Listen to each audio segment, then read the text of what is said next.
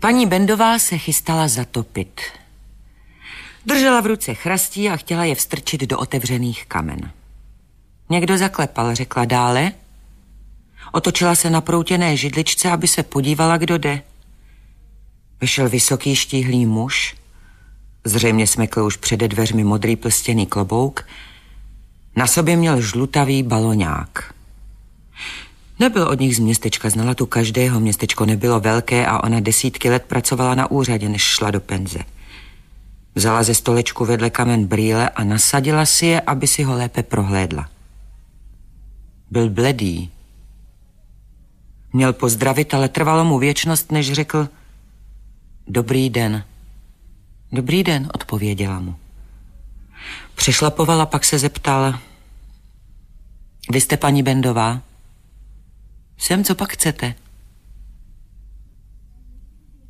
Paní Bendová, já jsem z Prahy. Přijel jsem vám říci, že váš Zdeněk se zabil před třemi dny na Kavkaze. Otočila se, strčila otýpku do plotínky a zapálila ji. Oheň vzplál, dívala se do něho strnule. Muž v žlutém baloňáku se chvěl, už také nevěděl, co by řekl a chtěl odejít, protože svou povinnost, kterou mu uložili v Praze, splnil.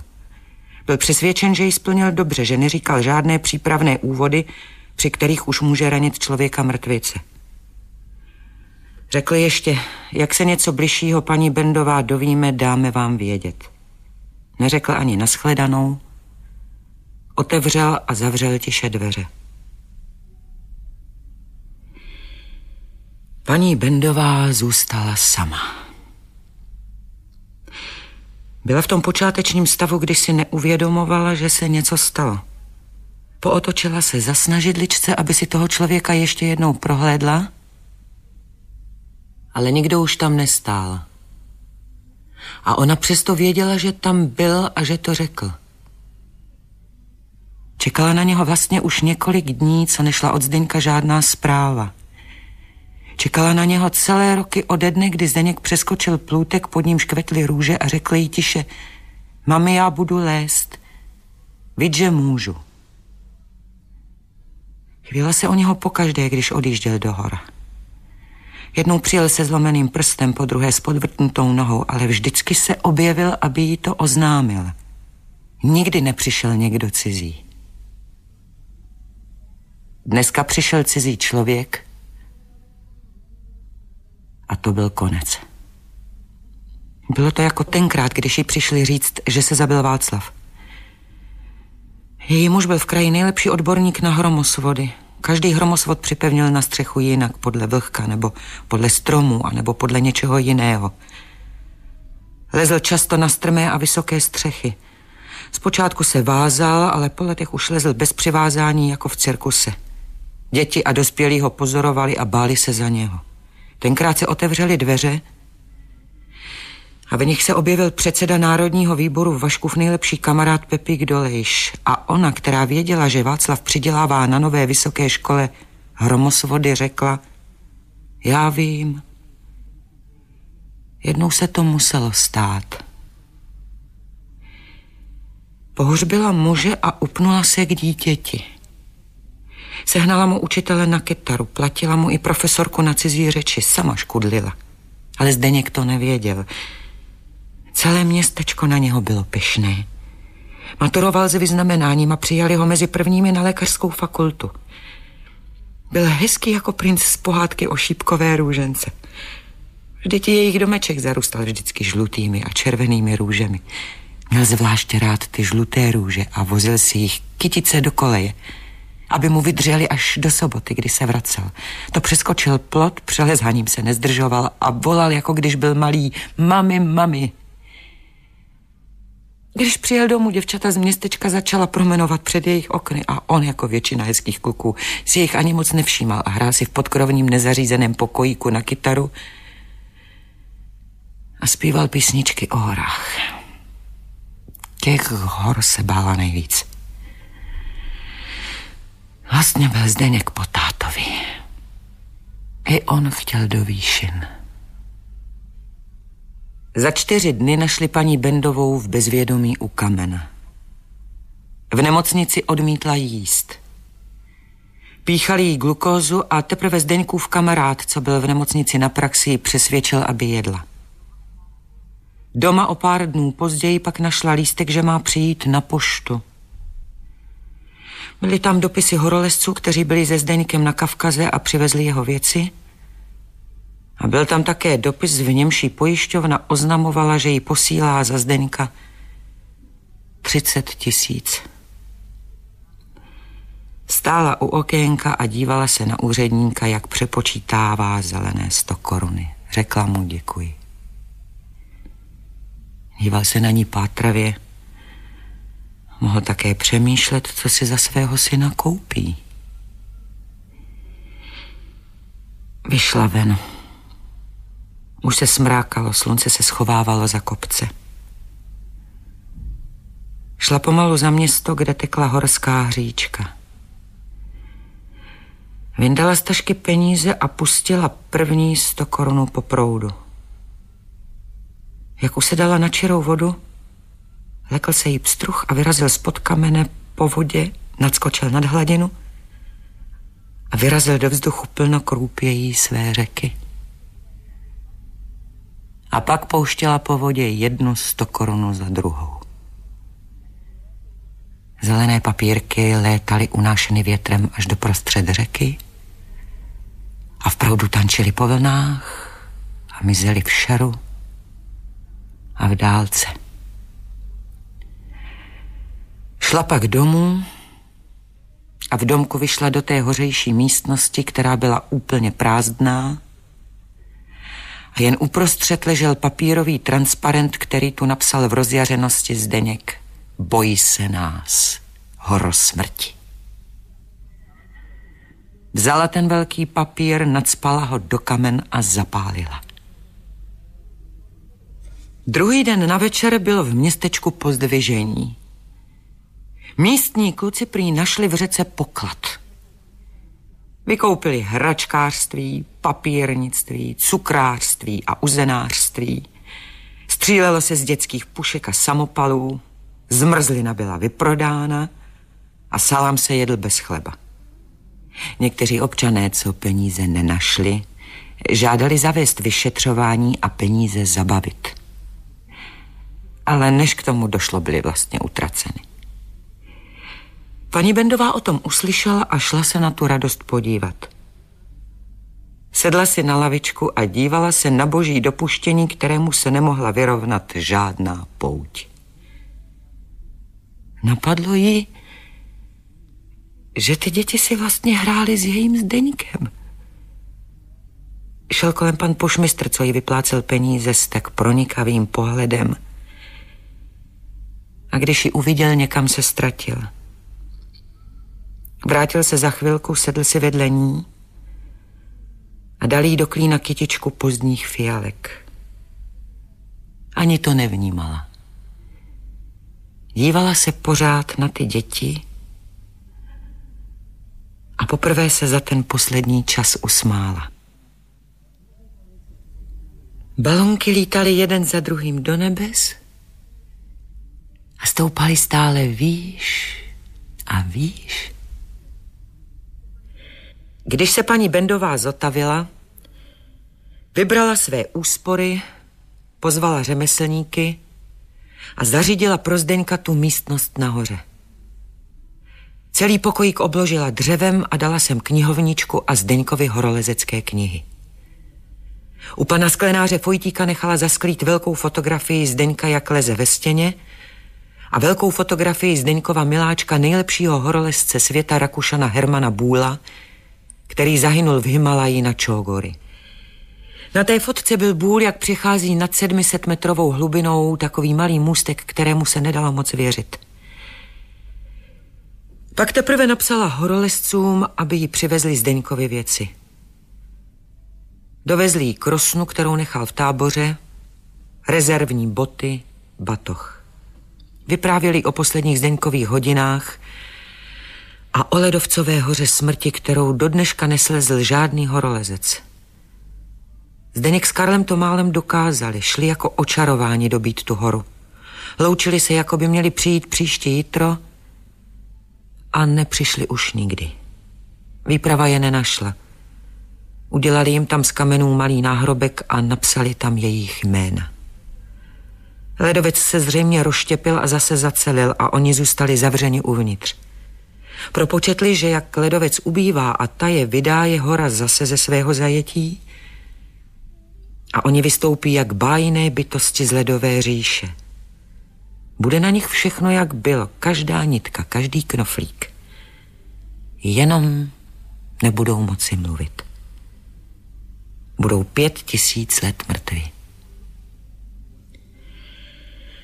Paní Bendová napsala tři měsíce před výročím Zdeňkovy smrti do Prahy tento dopis. Vážení páni horolezci, Brzy to bude rok, co zemřel můj syn Zdeněk a jeho přítel Karel.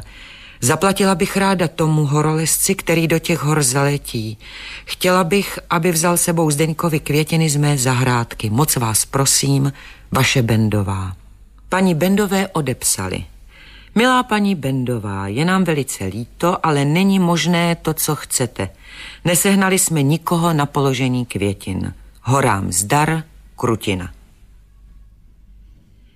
Když paní Bendová dostala odpověď, začala ve Zdeňkově pokojíčku studovat cestu. Vyřídila si pas, v Praze si objednala letenku, koupila si horolezecké boty, péřovku, cepín a lano. Vydala se sama do těch hor. V kufříku měla většinou jen horolezecké věci. Nahoře v batohu ležela kytice žlutých růží, zabalená do mokrého hadříku. Letěla v obrovském letadle a ve velkém modru a pod ní byla země a ona byla vysoko nad ní. Dopravili ji vozem do horolezeckého tábora, kde to nebylo zlé. Stály tu stany, svítila tu elektrika, vyhrával tu rozhlas. Do výročí Zdeňkovi smrti chyběly dva dny. Příští ráno oznámila správci tábora, že jde hledat vzácné květiny a jestli se dnes nevrátí, přespí na nějaké salaši. Naplnila termosku čajem, vzala si půlku chleba a kus špeku, který jí dal v zimě soused ze zabíjačky. Na dno batohu uložila horolezecké boty, péřovku, lano a cepín. Nemohla to ani zdvihnout na záda, bylo to těžké na jejich 60 let. Vydala se do míst, kde byla ta smrtící hora. Podle mapy a popisu těch, kterých se ptala, by jí měla snadno nalézt. Musí stát asi půl kilometru nalevo. Od cesty docela osamělá. Šla už dlouho. Pálily jí od slunce oči a tak je sklopila a dívala se jen na tu zřetelnou cestu.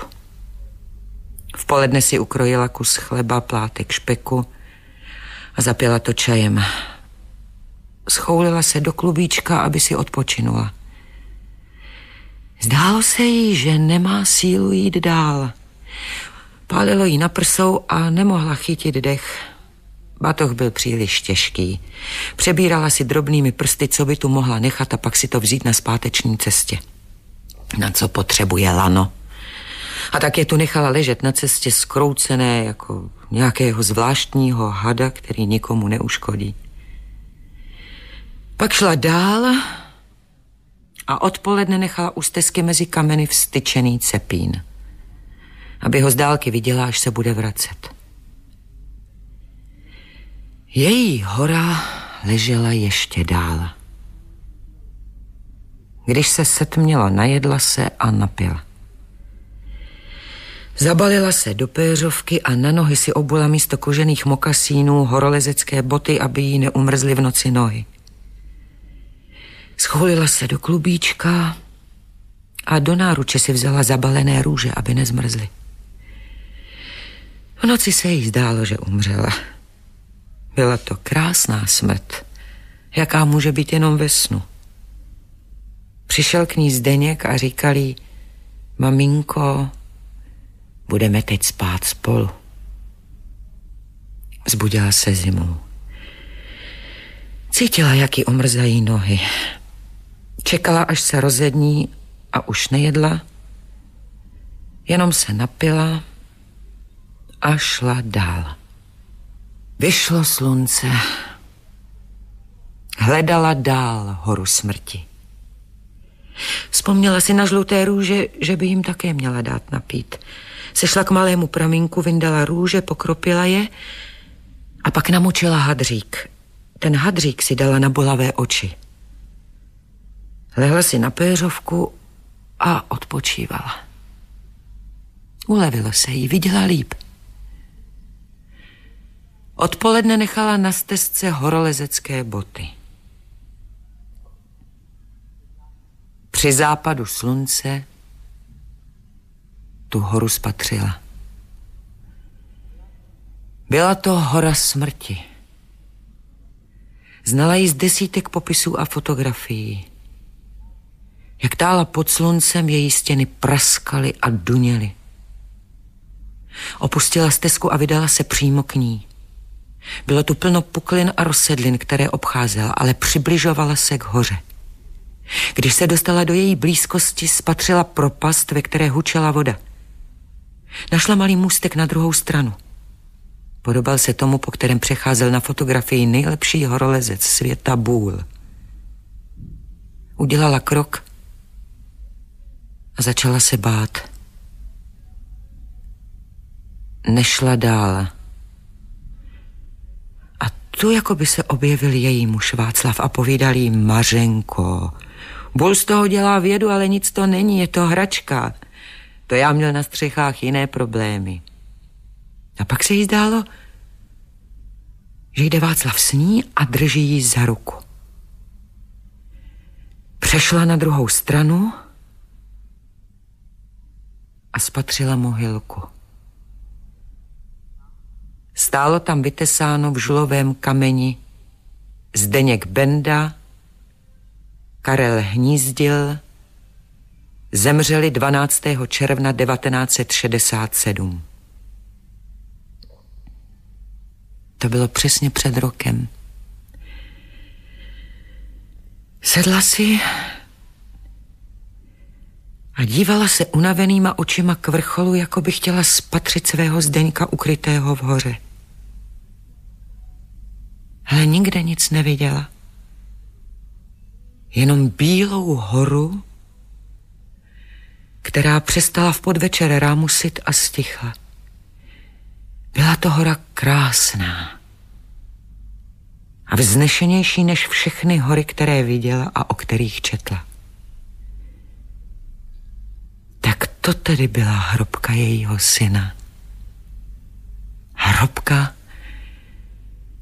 jakou nemají ani králové a královny. Neměla k té hoře nenávist. Jenom tady pocitovala velkou únavu z celého života. Chtěla už odejít, když si vzpomněla na růže.